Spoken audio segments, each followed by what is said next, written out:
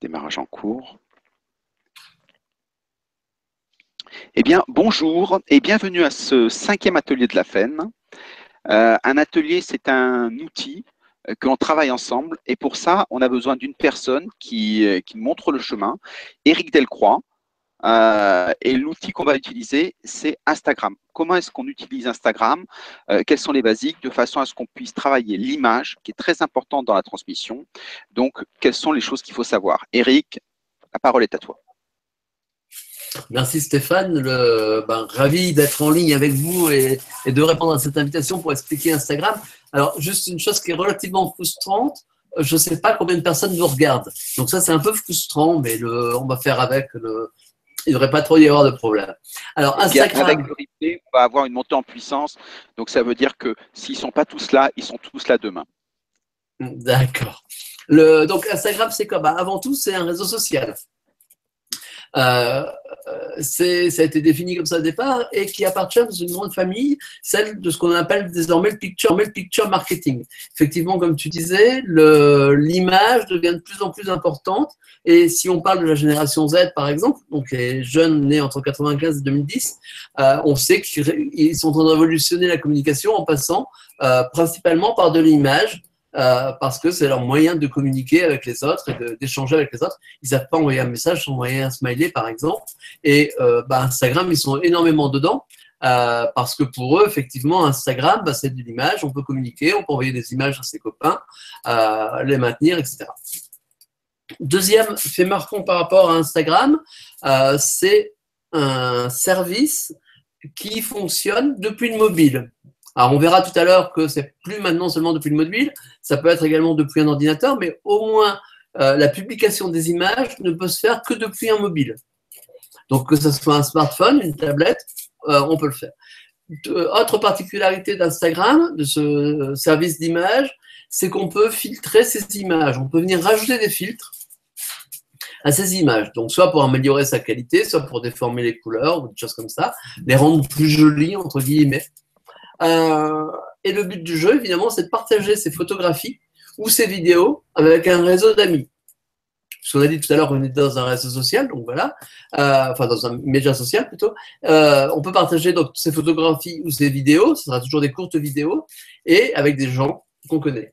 La particularité d'Instagram est que dire j'aime à une photo, c'est très très facile. Soit on vient cliquer sur l'image simplement pour dire j'aime, soit on a un petit cœur qui apparaît euh, pour dire j'aime. Et Instagram, ça va surtout être ça. Ça va être est-ce qu'il y a des gens qui viennent aimer les images? D'accord. Et, en formation, tu as, vu des, choses qui se faisaient avec Instagram?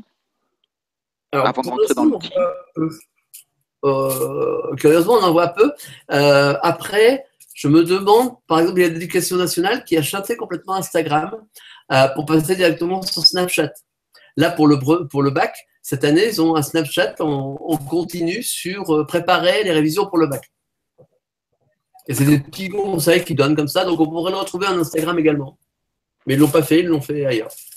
Euh, alors, le, deuxième fonctionnalité qu'il y a dans un Nogem, euh, il y a également une, partie qui est simplement des commentaires qu'on peut mettre sur chacune des images comme on, comme on l'entend.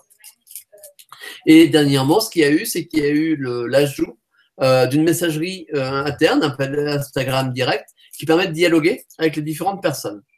Ensuite, on a euh, au niveau d'Instagram, ce n'est pas monocompte. C'est-à-dire que quand on est sur une, comme dans Twitter, on peut passer très facilement d'un compte à l'autre depuis la même application. C'est-à-dire que par exemple, on verra tout à l'heure, je vous montrerai. moi, j'ai mon compte perso et comme je travaille avec les filles sur un site qui s'appelle La cuisine de Mémé Monique, on a un Instagram Mémé Monique. Et donc, je passe facilement de l'un à l'autre euh, lorsque je navigue sur mon smartphone ou sur mon ordinateur. Donc ça, c'est très simple à, mettre. Ce qui fait que tu as deux, deux, comptes ou tu as même compte au sein duquel tu as des, équivalents des listes? Non, non, c'est euh, deux comptes différents, deux comptes séparés. C'est pas les mêmes publics, c'est pas, on, verra, c'est pas les mêmes stratégies, rien du tout. Euh, donc c'est deux univers complètement différents et que je peux venir euh, jouer sur l'un ou sur l'autre. Euh, quand je publie dans l'un, je peux aller tout de suite republier dans l'autre, euh, enfin republier, dire j'aime dans l'autre, parce que justement la republication était un petit problème qu'on a avec Instagram, mais on y arrive. Au niveau des dates et des, quelques chiffres clés par rapport à Instagram, euh, ça a été lancé, c'est pas très vieux, hein, en octobre 2010. Donc, ce euh, c'est pas si vieux que ça, mais surtout ce qui s'est passé, c'est qu'en 2012, donc assez rapidement, Facebook l'a racheté. En réalité, Instagram, c'est du Facebook. Ça, il faut le savoir. Euh, et en même temps que Facebook l'a racheté, ça a été porté sur le web. C'est-à-dire qu'il y avait la version mobile, comme on disait tout à l'heure. Hein, c'est elle, toujours la principale, même au niveau des recherches, etc. Euh, mais ils ont mis une version qui était euh, accessible depuis Internet. Et depuis cette époque-là, ils ont continué à ajouter des outils. Il y a Hyperlapse, par exemple, qui permet de faire des vidéos en time-lapse. C'est quoi? C'est simplement prendre des vidéos, des séries d'images en accéléré euh, on connaît tous la fleur qui vient s'ouvrir euh, de manière, bon, voilà, c'est un petit peu ça les timelapse qu'on peut mettre en, place. Ils ont euh, l'an dernier, ils ont sorti plusieurs applications, dont une qui s'appelle Layout, qui permet de faire du collage de photos les unes à côté des autres pour avoir plusieurs photos au sein d'une même image. Boomerang qui permet de transformer une série d'images en vidéo. Et la dernière de toutes, c'est Bolt, qui est destiné à concurrencer Snapchat. Snapchat, donc ce sera d'image éphémère là. Et euh, il y a une grosse révolution l'an dernier. Euh, jusqu'ici, Snapchat, c'était euh, Snapchat, Instagram, c'était toujours des images carrées. Et depuis l'an dernier, on peut prendre des images qui ne sont pas carrées, qui sont en format paysage ou même vertical, on y arrive. et ça, il l'accepte. Donc voilà, on est à ce niveau-là. Est-ce que c'est pour, pour reprendre un peu le format de Facebook Ce qui fait je pense pas. C'est-à-dire qu'il y avait beaucoup de gens, historiquement, dans, la, dans le monde de la photo, euh, beaucoup de gens ont toujours été embêtés avec le format carré. Parce que c'est très difficile, enfin, c'est plus difficile à composer dans du format carré que dans du format rectangulaire. Et le, si je reprends l'histoire de la photo traditionnelle, euh, les appareils photo avec deux objectifs devant, par exemple, c'était du format carré. Les Hasselblad, etc., c'était du format carré. Et après, il y avait le 24-36. Et on est passé du, format carré à un format rectangulaire. Là, on retrouve le même cheminement au niveau d'Instagram. Mais curieusement, beaucoup, beaucoup de gens continuent à publier en carré. Donc euh, voilà, ça c'est une possibilité. Et euh, par contre, le gros changement qu'il va y avoir, euh, donc il n'existe pas encore ce changement. Il a juste été annoncé au mois de mars. le contenu ne sera plus chronologique. C'est-à-dire que pour l'instant, quand euh, Instagram nous propose son contenu, le fil d'images, c'est toujours chronologique. Les photos ont été prises les unes après les autres. À partir de, on ne sait pas quand, euh, on sait que le contenu va plus être chronologique. Il va mettre un filtre en place avec un algorithme qui permettra de trier à la façon euh, Instagram. Hein, comme dans Facebook, etc. Dans Facebook, on n'a pas toutes les informations, elles ne sont pas chronologiques. Donc voilà, ça on est prévenu, on sait que ça va arriver. Par contre, ça va être peut-être un frein ou un, problème, je ne sais pas, hein, il faudra voir par rapport aux formations. Il faudra voir comment on pourra euh, l'introduire, cette nouveauté. Sinon, au niveau des chiffres, euh, bah, il faut savoir que c'est 400 millions d'utilisateurs actifs par mois à travers le monde. Donc c'est relativement énorme. Euh, plus de 30 milliards de photos partagées, 70 millions de photos postées quotidiennement, 20% des utilisateurs d'Internet dans le monde ont un profil sur Instagram. Aux USA, 70% des utilisateurs connectés à Instagram passent au moins une fois par jour sur leur compte. Donc on s'aperçoit qu'effectivement, c'est relativement addict. Hein. Et le taux d'engagement d'Instagram est largement supérieur à celui de Twitter ou de Facebook contrairement à ce qu'on pourrait penser. C'est le troisième réseau américain, euh, quand on prend euh, l'ensemble des réseaux, c'est le deuxième ou le troisième, ça dépend des études. Euh, et 85% des grandes marques ont adopté Instagram. Et d'ailleurs, on s'en aperçoit parce que quand on lit la presse spécialisée ou qu'on va sur les sites spécialisés, oh, je dirais, il y a encore six mois, tout le monde parlait de YouTube. On mettez-vous à YouTube. Et depuis 3-4 mois, on entend dire oui, mais attendez, il y a Instagram, il faut aller absolument dessus. Ah oui, effectivement, quand, on a, quand on a de la vidéo, euh, qu'on a retravaillé, euh, est-ce qu'il vaut mieux choisir euh, l'un, l'autre, les deux? C'est pas les mêmes durées? Ça va être ça la problématique. Ça va toujours être dans Instagram, ça sera toujours de la durée très courte. Il, est en concurrence avec Vine, des choses comme ça. Mais il ne sera pas en concurrence avec YouTube. D'accord. Donc, il faut le repositionner comme ça. Et la particularité évidemment qu'il a, c'est que le public est relativement jeune au niveau d'Instagram. On trouve beaucoup, beaucoup de jeunes. Et, euh, pour, donner le, sur l'histoire de l'engagement, les photos et les images statiques, euh, enfin non, pas pour l'engagement, mais de manière générale, curieusement, tu parlais de vidéo, et photos et images statiques génèrent 36% de mentions j'aime en plus que les vidéos. Donc on s'aperçoit qu'Instagram, en fait, on peut mettre des vidéos, mais ça marche pas très bien. Donc c'est à nous de le savoir également pour nous travailler dessus. Pourquoi c'est efficace Instagram, euh, au niveau de la formation? Parce que déjà, les, images, c'est un format très efficace pour raconter une histoire. Hein, on a fait une, session de storytelling un jour euh, à Paris. Euh, bah voilà, c'était ça. C'est, euh, je raconte des histoires et mes images vont raconter des histoires à leur tour. Donc ça, c'est très très facile. Et même chose au niveau d'une image, au niveau de l'apprentissage, la perception d'une image est plus facile parfois à lire et à retenir et à comprendre euh, que du texte, que, comme je suis en train de vous le faire là. Euh, là, c'est du monologue que je fais, il n'y a, pas, a pas beaucoup d'interaction, mais donc c'est plus difficile à retenir. Et euh, donc, ce contenu qu'on vient publier dans Instagram, c'est universel et simple d'accès. Alors, ça se voit très bien. Vous prenez un magazine comme National, National Geographic qui publie régulièrement tous les jours plusieurs images. Il y a des, milliers de, de j'aime sur les, sur les images parce que bah, quelle que soit la nationalité de la personne ou l'origine de son continent, ça va lui parler. C'est évocateur pour lui. En plus de ça, c'est vrai que c'est des bons photographes au point de départ. National Geographic a toujours été réputé pour ça.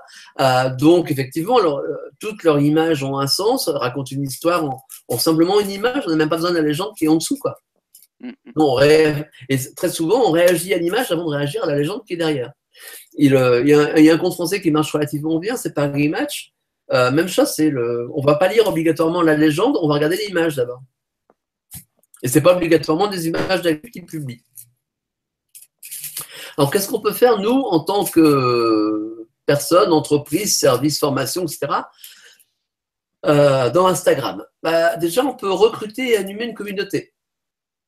Tout à l'heure, je disais, moi, j'ai une communauté, enfin, j'ai un compte pro qui est Delcroix, j'ai le compte euh, cuisine de mes Monique, bah, évidemment, avec, euh, avec mon compte pro, je suis plus embêté parce que je suis un peu du tout n'importe quoi. C'est du perso, c'est un, mélange euh, très sulfureux comme d'habitude me concernant, donc on ne sait pas trop où ça va. personne n'y comprend rien, mais les gens me suivent. et de l'autre côté, bah, c'est beaucoup plus clair. On est dans le monde de la cuisine. Donc, même chose, on va relayer des informations de cuisine, des plats ou, des informations à ce niveau-là. Et des gens viennent nous suivre, sont généralement des gens passionnés de cuisine. Après, on peut valoriser un savoir-faire. Ben voilà, je peux expliquer par la prise de vue, par, mes, euh, par les photos que je viens publier, que j'ai un savoir-faire dans tel domaine. Euh, ça peut également, troisième euh, utilité, servir au brand content, c'est-à-dire faire de la visibilité pour sa marque. Donc, sa marque au sens charge du terme, ça peut être le service formation qui se fait sa pub en quelque sorte. Hein.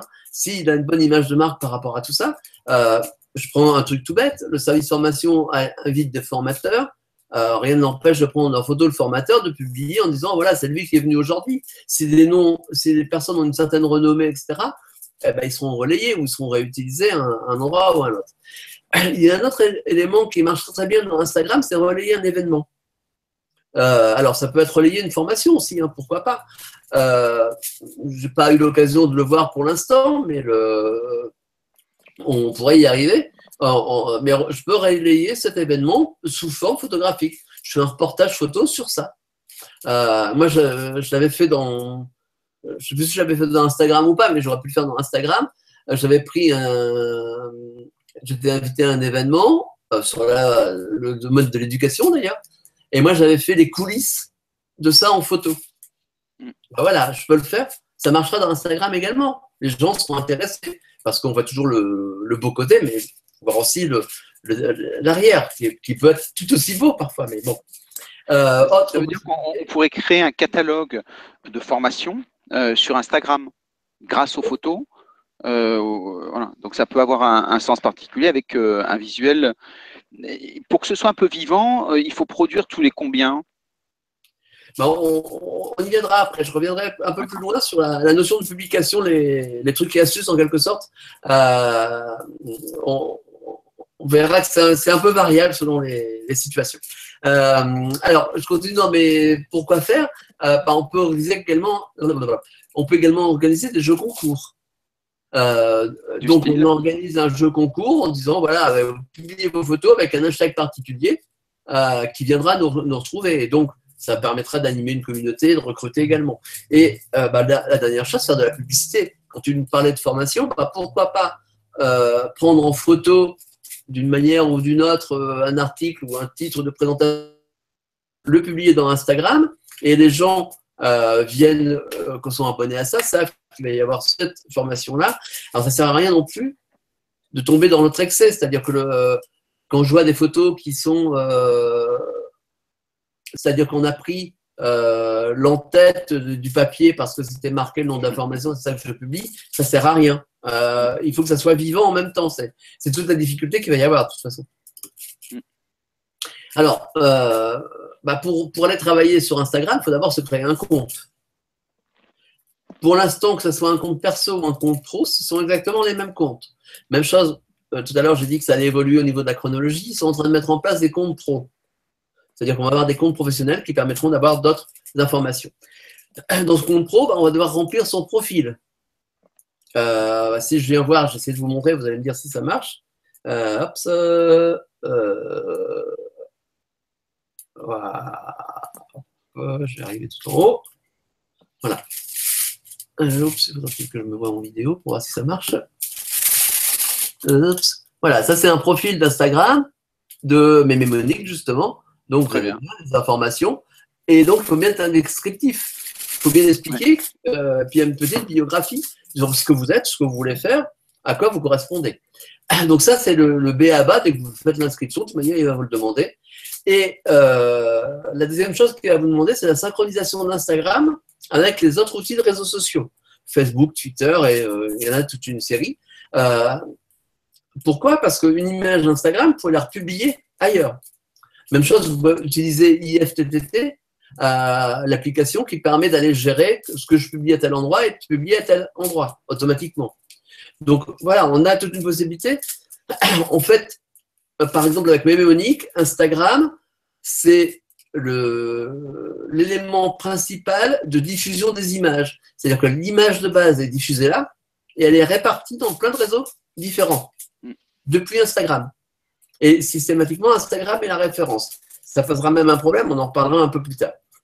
Donc ça veut dire que si je suis un responsable de formation ou une entreprise qui utilise une équipe sur Instagram, euh, il faut faire attention parce que les connexions peuvent se faire avec le Facebook personnel. Donc il faut créer tout un écosystème euh, formation par exemple. Oui, mais c'est euh, depuis Instagram, par exemple, le, depuis Mémémonique, on publie dans une page de Facebook qui s'appelle Mémémonique.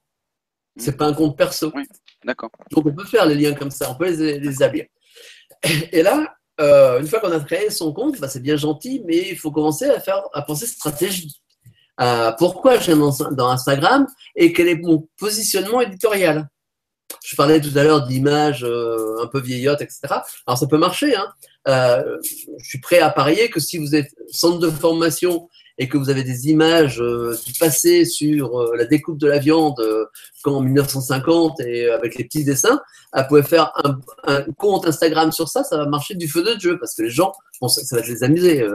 donc ça, ça marche. Donc il faut bien penser à cette histoire de contenu. Qu'est-ce que moi je vais publier? Qu'est-ce que j'accepte de publier? Ça, c'est le premier point. Quelle est ma cible? Parce qu'en fait, quand je vais publier quelque chose, il y a bien une cible qui est derrière et quelle sera l'audience que j'aurai? Hein, on peut distinguer la cible et l'audience. Euh, moi, je, préfère parler d'audience en général, moins de cibles, c'est-à-dire que j'ai dans mon esprit une cible au point de départ, mais je m'y attarde pas plus que ça. Je préfère parler d'audience qui est derrière, et pour moi, peut-être trouver différentes cibles par la suite. Deuxième positionnement à avoir, c'est le positionnement éditorial, c'est réfléchir à la politique abonné-abonnement. À qui je vais aller m'abonner? Parce que le principe de réseaux sociaux, c'est euh, c'est social. Donc, je viens m'abonner à différentes personnes. Euh, et avec ça, est-ce que j'aimerais faire de la republication? C'est-à-dire que si quelqu'un a publié quelque chose d'intéressant, est-ce que moi, je, veux le mettre ou pas dans mon Instagram? Comme on ferait un retweet, en fait. Sauf que dans Instagram, ça n'existe pas nativement. C'est-à-dire qu'il faut prendre des applications extérieures pour le faire. Il y en a une qui s'appelle Repost, euh, Repost, R-E-P-O-S-T, qui permet de prendre une image de chez quelqu'un, si on l'a aimé ou n'importe quoi, et de dire, bah voilà, je, savais chez moi. Et c'est indiqué que ça en reposte. Même chose, est-ce que je mets en place des politiques de récompense?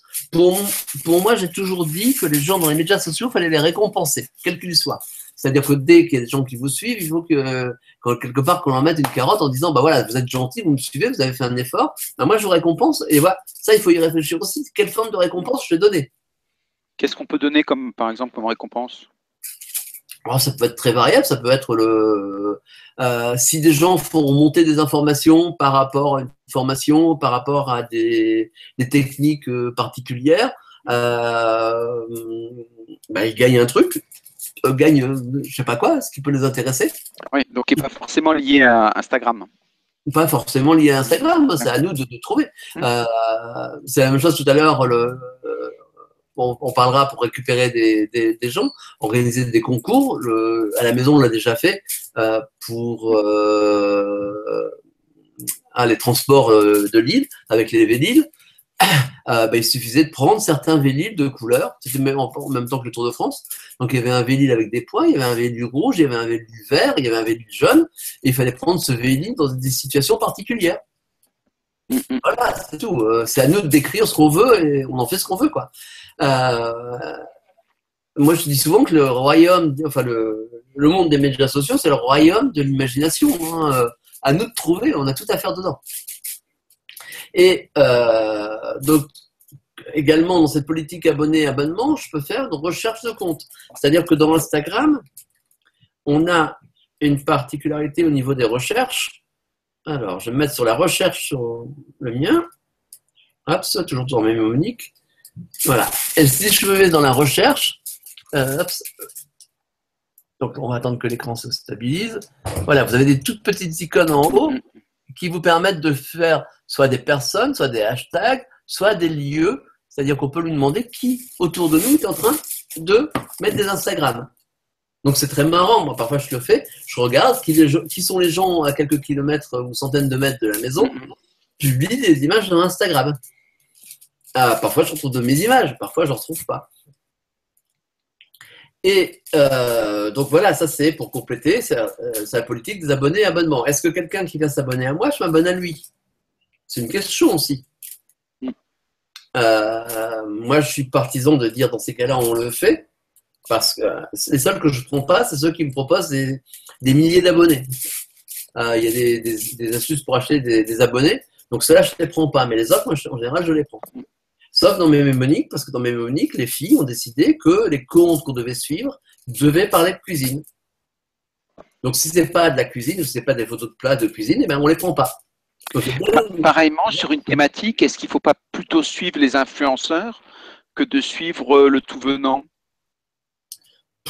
Les euh, personnalités hein, euh, du secteur On a un gros problème, c'est qui sont les influenceurs, déjà pour commencer Ceux qui sont suivis? Bah, pas toujours, parce qu'ils euh, ont peut-être acheté des gens ou euh, ils sont peut-être. Euh, il y en a beaucoup. Il y en a beaucoup qui sont à la solde des entreprises, donc qui, qui publient ce qu'on leur demande de publier. Donc c'est peut-être pas toujours le plus intéressant non plus. en plus de ça, on est parfois sur des marchés de niche ou des, domaines de niche où on, s'aperçoit qu'il y a des gens. il, vaut mieux, il vaut mieux, à la limite, taper un peu plus large et tomber sur ceux qui vont devenir influenceurs. Et, là, c'est avoir du feeling, et, euh, mais ça ça se fait pas automatiquement. Je sais que sur la cuisine de Monique, on a eu quelqu'un comme ça, qu'on a suivi très tôt. Elle n'avait pas beaucoup de personnes qui la suivaient. Et maintenant, c'est un énorme compte euh, dans, euh, dans Instagram. Et bon, pas plus tard qu'il y la semaine dernière, on m'a posé la question demandant est-ce que je connaissais des gens qui avaient plus de 250 000 personnes qui était suivi dans Instagram. Et c'était une société qui fait du référencement, etc., qui cherchait pour une société avec qui elle travaille. Donc, euh, évidemment, ils vont être payés pour publier des trucs, ils vont les publier, quoi. C'est pas pour autant que c'est intéressant. Euh, donc, on a cette, problématique. On a l'interaction avec les mobinotes, avec euh, toutes les personnes qui viennent discuter avec nous. C'est-à-dire que nous, on va avoir dire euh, ce qu'on a, notre légende, et, après, il y aura peut-être des réactions, mais comment on réagit à ces réactions? Euh, est-ce qu'on s'engage à mettre systématiquement une réponse à chaque message ou pas? Voilà, il y a plein de, trucs comme ça. Et le type de communication qu'on va donner. Par exemple, si on s'adresse à des jeunes, euh, bah, il y aura des smileys dans les réponses. Si on s'adresse à des personnes plus âgées, les smileys, c'est moins important. Mais ça, il faut le savoir au point de départ. Curieusement, il faut réfléchir en termes d'image également. Les choix techniques euh, photographiques qu'on vient mettre en place. Quel type d'image je vais mettre dedans? Et euh, on aura les filtres qui vont intervenir, puisqu'on va devoir filtrer ces images ou non. Est-ce qu'on les filtre ou pas? Et quel type de filtre on utilise? Euh, Donc on a bien toute une série de choix qui viennent s'enchaîner. on peut même aller plus loin en disant mes photos, en fait, je ne les prends pas avec un appareil photo avec un smartphone, je sais pas, avec un vrai appareil photo ou une vraie caméra, que je remets sur Internet, que je charge sur mon smartphone et je diffuse après. C'est faisable. Donc voilà, on a bien toute une stratégie par rapport à ça, tout en sachant que on a parlé tout à l'heure de picture marketing, je vous ai parlé de la génération Z, et je peux vous dire qu'au niveau de la génération Z, au niveau de la lecture de l'image, composition de l'image, ou le contenu de l'image proprement dit, ce ne sont plus les mêmes références que celles qu'on avait nous, euh, des personnes de mon âge. Donc, il y a une évolution également sur ces contenus, sur la manière de faire des photos et sur la, manière de les publier qui joue sur est-ce que ça sera pris en compte ou pas. Est-ce que les gens seront acheter Par exemple, comme évolution? Euh, J'ai aucune des deux filles qui est là à côté de moi, mais elles, euh, moi, je m'en aperçois parce que le, dans Instagram ou dans d'autres, elles me disent Mais attends, c'est nul ce que tu as publié, il ne fallait pas mettre ça. Euh, et donc, effectivement, on peut retrouver dans. Il y a un autre système qui s'appelle Titre, où là, on a codé de l'image. Et, euh, et c'est vrai, je m'en aperçois, je suis, euh, je suis largué, je ne suis pas dans la mode. Hmm. Et c'est une histoire de, de sentiment par rapport à l'image, mais c'est complètement. On a discuté avec une journaliste dernièrement, c'est complètement irrationnel, quoi. on n'arrive pas à l'expliquer. Et eux s'y retrouvent. toi, tu te dis, ben, je suis à côté de la plaque, mais je ne sais pas quoi faire pour y être. Euh, on, a ce, phénomène-là. Euh, il faut faire des enfants, quoi. Pardon? Il faut faire des enfants. Oui, faites des enfants et observez-les. Euh, mais faites gaffe parce que maintenant ça va être tard, c'est de génération alpha maintenant. et enfin, le dernier point que vous avez, c'est est-ce que vous mettez des vidéos ou pas dans Instagram? C'est également une décision qu'on doit prendre en, amont. Alors, tu me posais la question tout à l'heure de savoir la fréquence de publication. alors moi, c'est ce que j'ai regroupé sur les bonnes pratiques. Euh, alors, la fréquence, pour moi, ne peut pas dire grand-chose. Euh, c'est-à-dire que je ne peux pas vous dire, bah, publier tous les jours, publier tous les trois jours, publier une fois par semaine, etc. Pour moi, ça ne veut rien dire quelque part. Le tout, c'est qu'il faut publier régulièrement. Il faut poster régulièrement, mais des photos de bonne qualité. Euh, et le problème qu'on peut rencontrer, celui qui est évoqué en règle générale, c'est celui de la saturation des utilisateurs. Alors moi, la saturation des utilisateurs, je n'y crois pas trop. C'est-à-dire que la saturation des utilisateurs, pour l'atteindre, il faut publier déjà beaucoup, beaucoup d'images. Et là, on verra qu'effectivement, les gens vont se désabonner. Le temps que les gens ne se désabonnent pas, il n'y a pas de saturation. Il hein. faut arrêter. C'est les agences qui racontent ça parce que ça leur coûte très cher d'aller publier des images régulièrement et de s'en occuper. Donc pour elles, il y a saturation très vite, et surtout saturation parce que ça ne gagne pas assez sinon. Euh, mais pour, l'utilisateur final, il s'en fiche. Et euh, effectivement, qui euh, publie énormément d'images, alors dans Instagram ou dans d'autres systèmes, euh, et ça, arrive plus fréquemment sur ceux qui publient, occasionnellement. Euh, dans Instagram, si vous avez quelqu'un qui publie une fois par semaine mais qui vous met 30 images en une seule fois, ça a du mal à passer parfois. alors que si vous avez publié 30 images sur les 7 jours de la semaine, eh ben, ça rien du tout. Donc on, les répartissant. Donc c'est pour ça. Euh, Il y a des outils comme sur Facebook par exemple où on peut échelonner les, publications, les programmer? Officiellement non. Euh, par buffer ou des outils comme ça, on y arrive quand même. D'accord. Euh, après, il y a d'autres applications qui, qui de, externes qui essaieraient de, gérer ça plus ou moins bien. Mais bon, ça va arriver. on a vu avec les versions pro, etc., ça va arriver de plus en plus. On, pourra décider de, quand on publie. Très bien. Euh, et donc, ne pas oublier qu'il y a la qualité des images à, prendre en compte. Alors, je reviens sur mon histoire avec mes images, la qualité, euh, parce que c'est vrai que la notion de qualité, on l'a, mais par rapport à nos critères à nous. C'est-à-dire que moi, je suis un ancien photographe, donc mais j'ai mes qualités. Qu'est-ce que c'est qu'une bonne image? Une image floue, je la mettrai jamais. Euh, et un jour, on a même eu une image qui était pas nette, qui était floue, qui n'était pas très belle, mais on avait que celle-là. Et on a dit, bon, tant pis, on la met. Et on s'est aperçu que, alors, euh, dans, euh, dans Instagram, là, ils son nombre de likes, enfin de j'aime, mais dans un, autre, dans un autre réseau, ça a cartonné énormément. Pourquoi? Parce qu'on n'est plus sur les mêmes critères, on n'est plus sur les mêmes références. Donc, c'est pour ça, il faut des images de bonne qualité, oui. Euh, il faut des images, à la limite, qui aient un style particulier. Alors, ne forcez pas le style, ça, c'est un, truc de photographe qu'on dit régulièrement. C'est euh, ne cherchez pas à faire un style, votre style va apparaître au fur et à mesure des prises de vue. Mais euh, il faut que vous ayez cette, notion-là, quelque part. Et vous verrez que ça marche ou ça marche pas. Et surtout, alors, particulièrement dans Instagram, c'est pas vrai dans d'autres systèmes avec des images, mais ne négligez pas les descriptions d'Instagram. C'est-à-dire qu'il y a la zone de légende en dessous, il faut mettre une légende. Et y compris parfois des URL, même si elles ne sont pas cliquables. cliquables. Les gens viendront copier-coller l'URL pour le mettre dans un navigateur. Et surtout, ce qu'il faut faire dans Instagram, c'est utiliser des hashtags, les petits mots-clés avec les jazz. On a un maximum de 30 hashtags à mettre dedans. Et bah, à la limite, vous mettez 30 hashtags. Et pour ça, vous avez des, applications, par exemple, Tags for Likes, c'était A-G-S-F-O-R-L-I-K-E-S. Et donc, ça, c'est une application qui vous liste plein de mots-clés américains, c'est eux qui sont plus utilisés évidemment, en fonction de euh, bah, l'été, le, les sports, etc., euh, etc. Et donc, vous n'avez plus qu'à pomper tous les mots-clés et vous les mettez, vous faites un tri en choisissant ceux qui vous intéressent et vous allez voir que c'est assez magique comme effet euh, pour augmenter le nombre de, euh, de, j'aime sur des images et vous faire repérer. Donc voilà, il ne faut pas hésiter à les utiliser. Et au strict minimum, je dirais, il en faut 7. Généralement, on dit 7 euh, hashtags. c'est la bonne quantité au minimum. Pourquoi? Parce qu'il y a également un problème, c'est que tout à l'heure, on a dit que mon image était reprise dans les réseaux sociaux. Mais dans les réseaux sociaux, elle va reprendre l'image plus la légende avec les hashtags. Donc, si vous allez dans le mémonique ou si vous regardez mon compte dans Facebook, quand je republie une image de mémonique, bah, il y a les 30 hashtags qui apparaissent. Et donc là, c'est pas agréable dans Facebook. Et Facebook n'aimant pas les hashtags, bah, c'est un petit peu embêtant. Donc voilà, on peut avoir des, problèmes comme ça dans les transferts, mais c'est des choix de, stratégie qu'on effectue au point de départ. Est-ce qu'un calendrier de publication est utile?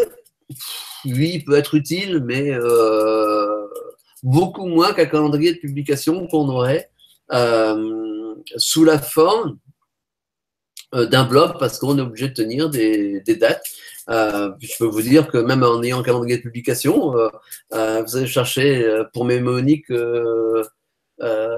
les aliments à manger normalement en avril, en mai. Bah, ça n'a pas été publié, ça doit être marqué, on n'a pas eu le temps de le faire, on n'a pas eu le temps de le faire. alors, après, si vous êtes tout à l'heure, on parlait de, formation, d'annoncer des formations. Euh, bah, il faut essayer de garder une unité, euh, à la limite une charte graphique par rapport aux images qu'on publie et euh, pour que ce soit tout de suite identifiable. Mais c'est aussi avec le style des photos que je parlais, c'est réussir à se faire identifier de manière assez rapide en disant ah voilà, ça, ça vient de telle personne, on le sait. la personne que je vous parlais, qui avait démarré tout doucement euh, dans Instagram, dans la cuisine, euh, toutes ces photos, on les repérait tout de suite. On voyait la photo qui apparaissait, on savait que c'était National Geographic. On jouait une image National Geographic. J'ai pas besoin d'aller voir que c'est National. Je le vois tout de suite, rien que par la photo. Donc voilà, il y a une identification comme ça qui se fait. Donc ça, c'est très difficile parce qu'on n'est plus dans le texte, on n'est pas, est dans le monde de l'image. Et euh, bah, peu de gens ont été formés à ce monde de l'image et à, décrire des images et à travailler avec. Alors, euh, après, il y a toute une polémique, c'est euh, est-ce que les photos doivent obligatoirement mettre en scène vos produits ou ce que vous faites? Bah, À mon sens, non, toutes n'ont pas besoin de le faire. Parce que justement, pour moi, il faut réussir à humaniser aussi énormément tout ça. Et est-ce que votre logo doit être absolument présent sur toutes ces images? Moi, j'en suis pas certain non plus. C'est-à-dire que, le, effectivement, on peut le mettre, mais c'est, à mon sens, pas une obligation. Donc, voilà, on peut le faire comme ça au fur et à mesure. Et euh, bah, au fur et à mesure du temps, bah, évidemment, il faudra venir euh, regarder tout ce qu'on a fait euh, et comment ça évolue. et donc, c'est regarder les statistiques qu'on peut rencontrer sur l'usage qui a été fait, le nombre d'images qui a été mises, le nombre d'augmentations, diminutions, etc. Donc, on a pour l'instant un, un, service qui va changer bientôt, au 1er juin, mais pour l'instant, il est encore gratuit. C'est qui s'appelle Iconosquare. Euh, en .com et vous allez voir automatiquement toutes les stats que vous voulez sur votre compte Instagram euh, de ce qui marche, de ce qui marche pas, les heures de publication qui marchent, qui marchent pas. Même chose pour ça, c'est-à-dire que l'on entend beaucoup. Alors il y a beaucoup beaucoup de choses hein, qui sortent régulièrement. J'en ai encore relayé une cet après-midi sur euh, qu'est-ce qui marche avec Instagram. On trouve de tout et du grand n'importe quoi, c'est-à-dire que il y a un truc par exemple qu'on dit souvent dans les, réseaux, dans les réseaux sociaux, on peut publier avec tel outil à telle heure. Euh, ça veut rien dire, tout dépend de votre communauté. J'ai parlé tout à l'heure de communauté tout au début, et c'est fonction de votre communauté, fonction de ce que vous faites comme activité, euh, et le public qui est visé et qui va venir voir vos informations. Donc, en fonction de ça, effectivement, on peut venir jouer sur les heures, ou le type d'image, ou, les contenus. Et, finalement, si on ne connaît pas bien sa communauté, ses comportements, est-ce que la meilleure méthode, ça ne serait pas de, bah, de raconter son histoire euh, avec sa cohérence personnelle, de façon à avoir la résonance? Si, si, mais moi, ça, j'y crois beaucoup. il y a tout un discours d'agence, etc., qui est euh, en plus très marketing en moins zéro, en disant on va cibler exactement les personnes qu'il nous faut, etc. Et, euh, et moi, j'ai toujours fait l'inverse, quels que soient mes, mes supports dans mes médias. en disant, on me l'a reproché, on m'a dit, mais pourquoi tu fais pas des blogs séparés? Avec sur Génération Z, que je fais un blog séparé, mais pour le reste, c'est vrai que j'ai toujours tout mélangé. Euh, parce que pour moi, c'est naturel. C'est bah, moi qui se représente. Euh, c'est moi qui, qui se vend. Quoi. Je suis tout ça. Oui, je suis tout ça. Euh, et une entreprise, bah, elle peut partir dans plein de directions. elle est comme ça, elle est comme ça. on va pas la changer du jour au lendemain. et donc, moi, ça me dérange pas. Et après, alors, plus pour les blogs que pour, les, pour l'Instagram. Mais c'est vrai qu'Instagram, je publie ce que j'ai envie de publier comme image, je republie ce que j'ai envie de publier. Et j'ai bien des gens qui me suivent pourtant. Donc, il y en a qui sont quand même intéressés. Alors après, au nombre de relais d'informations, dire j'aime sur mes photos, j'en ai beaucoup moins en proportion que Iseux, par exemple, qui en a deux fois moins que moi euh, au nombre de suivis. Euh, ou Clara, Clara, euh, c'est la même chose, elle en a beaucoup plus que moi. Mais on n'a pas les mêmes styles de publication d'images, on ne publie pas au même moment, on n'a pas les mêmes publics, donc on n'a pas les mêmes contenus. C'est pour ça que quand tu me disais tout à l'heure, avoir beaucoup de gens qui te suivent, ça ne veut pas dire grand-chose. Je ne sais pas, j'essaierai de le faire avant qu'on se quitte. Je mettrai, je, mettrai, je mettrai les trois comptes et vous verrez, celui d'Iso, celui de Clara et le mien. on mettra les trois comptes en parallèle et vous verrez le nombre d'abonnés qu'elles ont, le nombre de j'aime qu'elles ont régulièrement sur leurs images, et puis moi, le nombre d'abonnés qui me suit et le nombre de, euh, de comptes que j'ai euh, quand je publie une image. Et, Il y a des euh, compétitions chez, chez les Delcroix.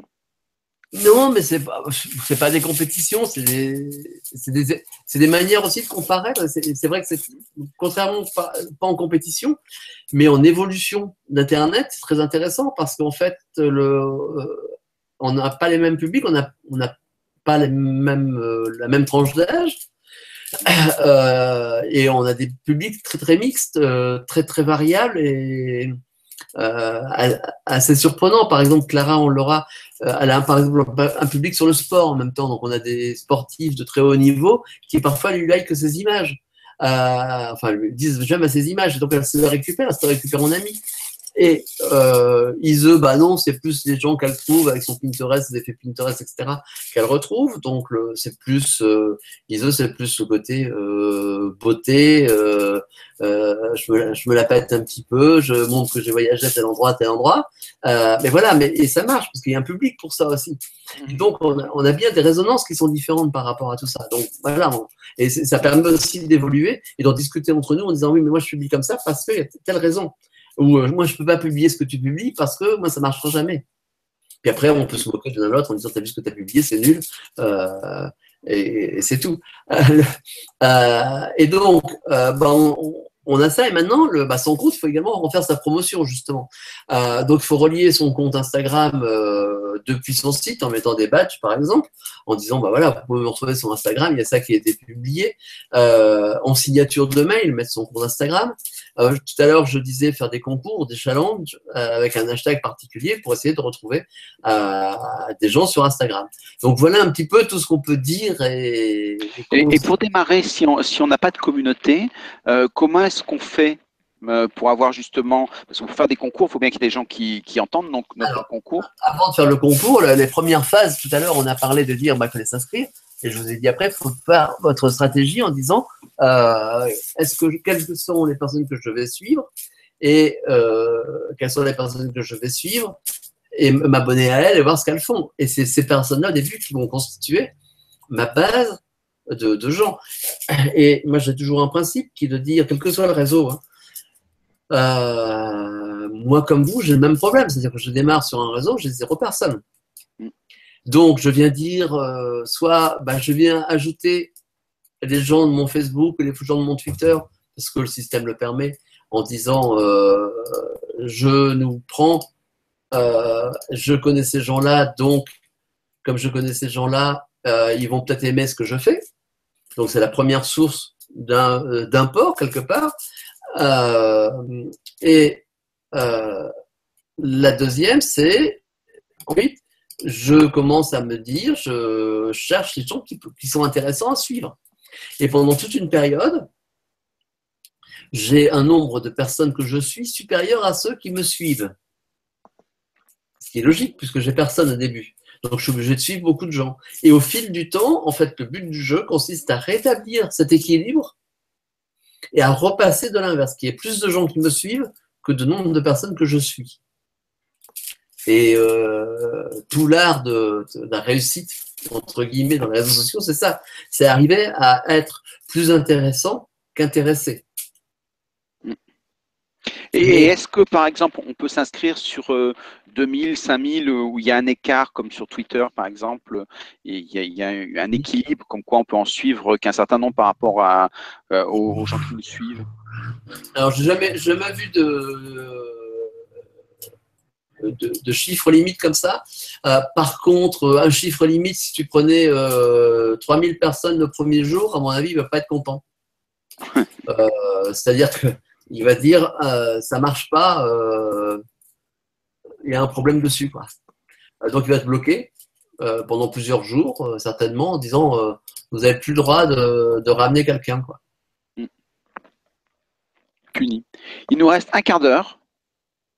Ouais, je vais préparer l'écran des trois Instagram, comme ça on pourra faire une petite comparaison.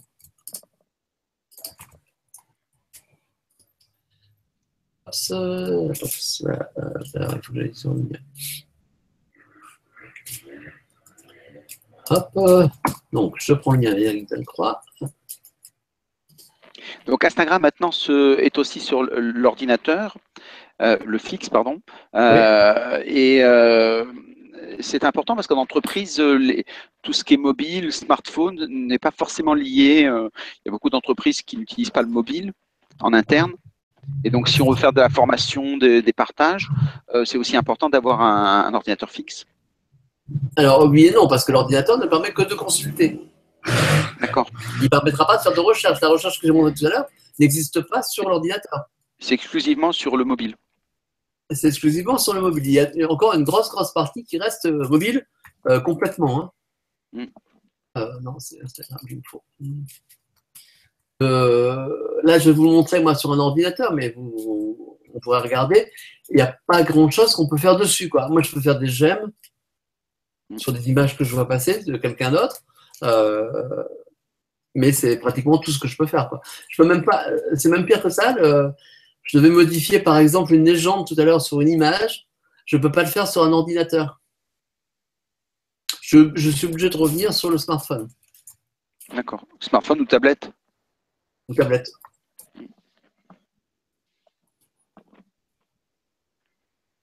Voilà, j'ai les trois comptes. Alors, tac. Je remets tout à l'écran.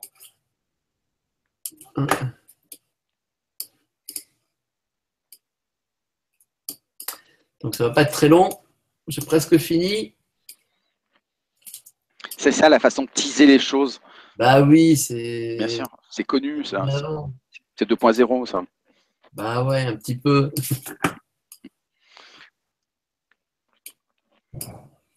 ah oui, puis euh, là, par contre, j'espère que de passer un à un. C'est vrai que quand on est en, diffusion comme ça, je ne sais pas si elle les mettre. Enfin, c'est pas grave, je passerai l'un à l'autre sinon. Euh, hop, donc fenêtre. Euh, je suis dans la note discussion à nous deux. Et là, je vais lui dire que je partage mon bureau.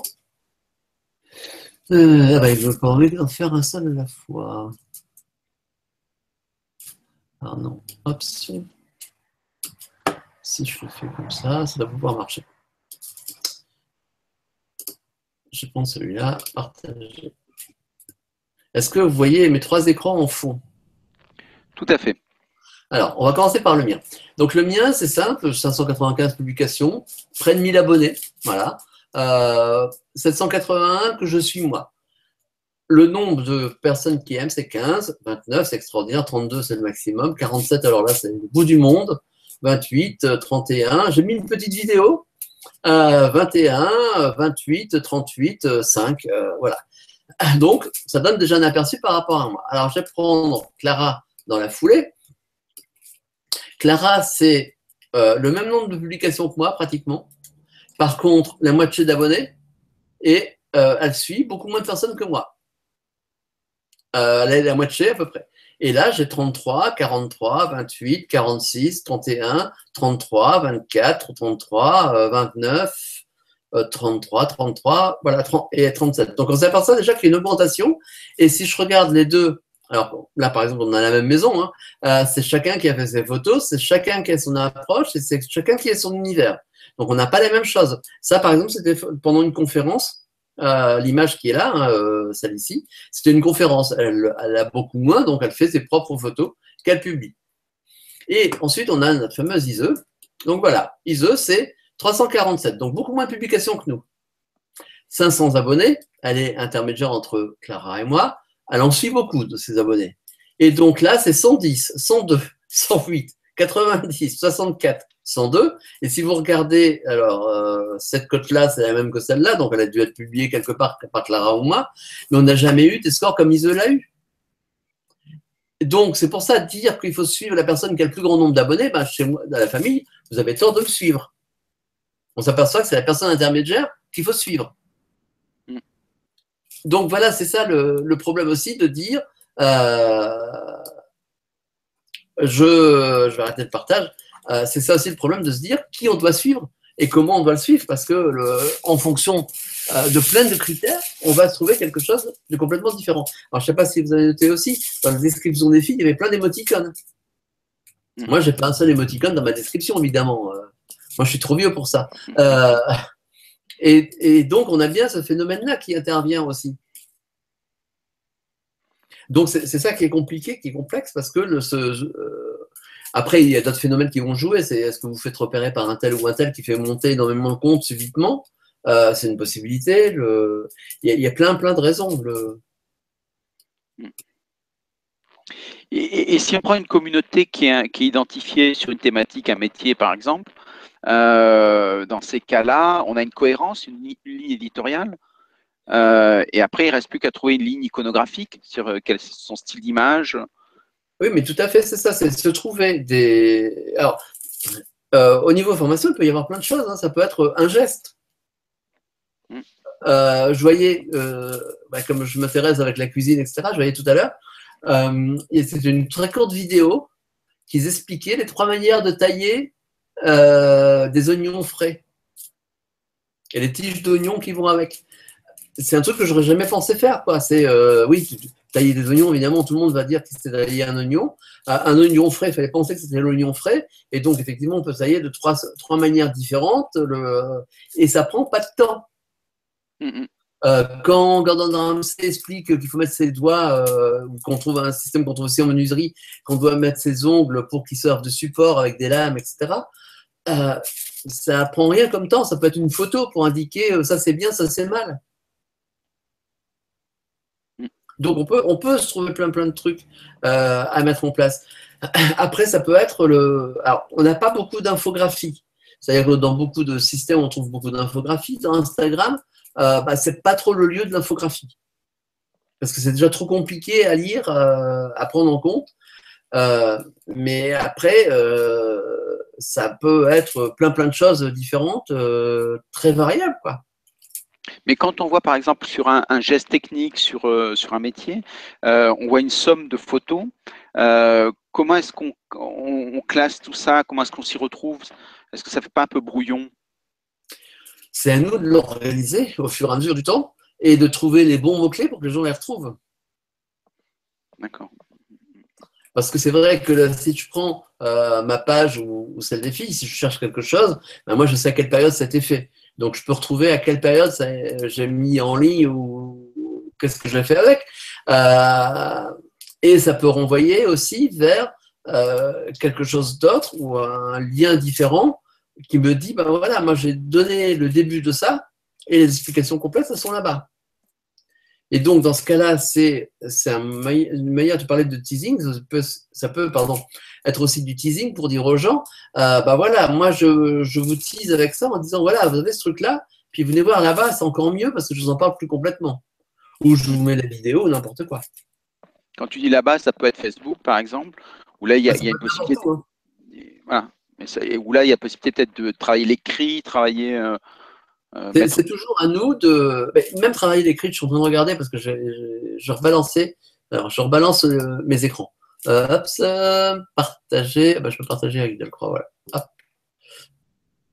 Donc, si je prends mon écran qui est là, c'est simplement ce que j'ai diffusé ces derniers temps. Et je disais tout à l'heure, bah, celle-là, c'était lors d'une conférence effectivement, la conférence, j'ai fait plusieurs images de la conférence. Et euh, y compris ces choses-là. Mais par exemple, sur celle-là, euh, bah voilà, le, il y a des illustrations qui ont été faites avec Génération Z. Et je sais que Génération Z va retomber sur moi. Donc c'est très bien. Donc on, trouve plein d'éléments par rapport à ça. Et on peut commenter une photo? C'est-à-dire? A quelqu'un qui voit une photo, qu'il la trouve intéressante, etc., il peut, le, hormis le fait que j'aime. Il y a eu un commentaire. D'accord.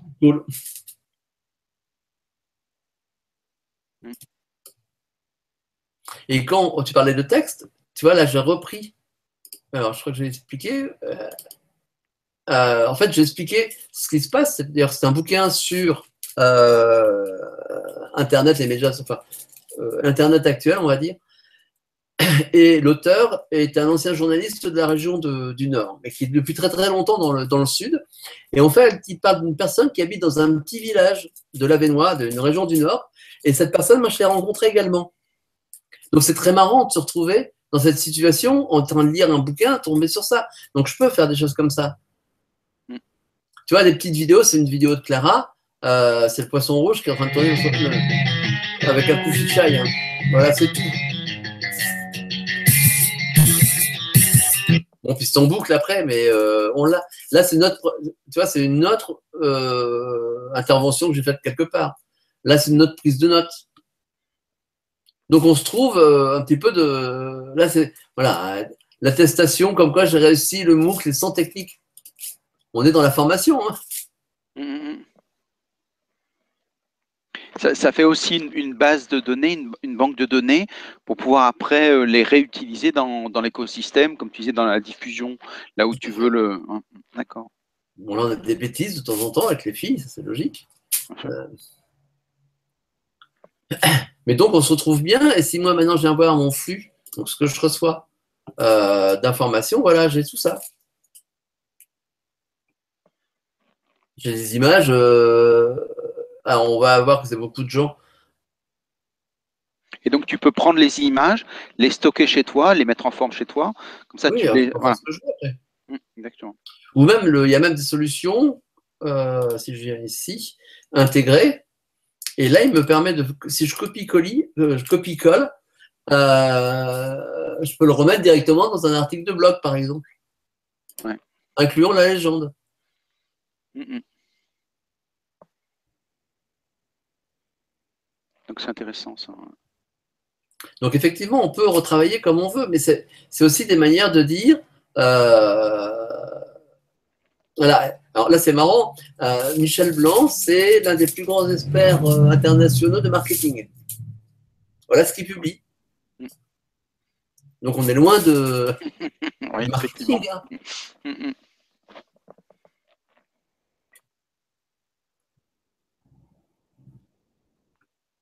Est-ce que tu as une ou deux remarques sur euh, les évolutions qui ont l'air de se dessiner avec Instagram, euh, les nouvelles applications qui, qui, viennent de sortir bah, ce que je disais tout à l'heure, euh, l'évolution qu'il va y avoir, c'est euh, le fil d'information qui va complètement basculer dans tous les sens. Ça, ça va être compliqué à gérer.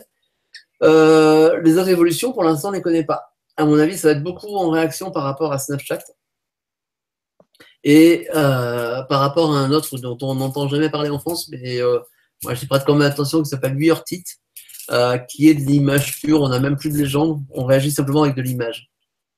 Et euh, bah, on a toute cette tendance-là par rapport justement à la génération Z qui arrive, qui eux communiquent énormément par de l'image.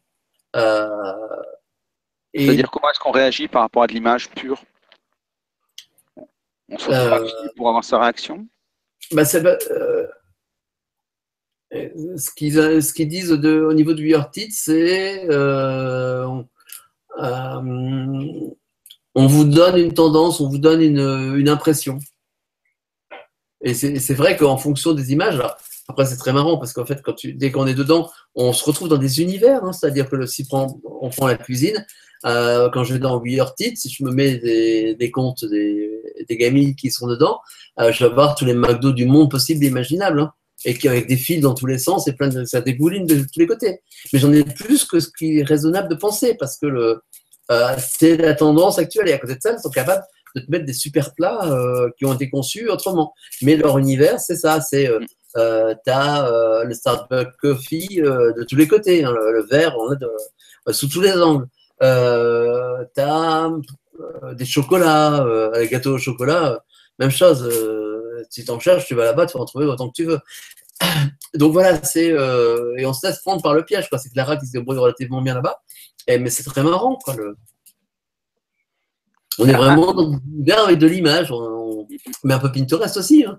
Euh, Pinterest, tu le prends. Euh, je crois qu'on fera une séance sur Pinterest et on, va se retrouver sur des tableaux. Et quand tu réfléchis bien, tu ne regardes pas les légendes dans Pinterest. C'est relativement rare, même si on les met. Complètement. Donc, euh, bah, très très bien. Merci beaucoup puisqu'on arrive à la fin de cet atelier. Il y a toujours une frustration de se dire il y a des choses qu'on n'a pas abordées, mais c'est fait exprès.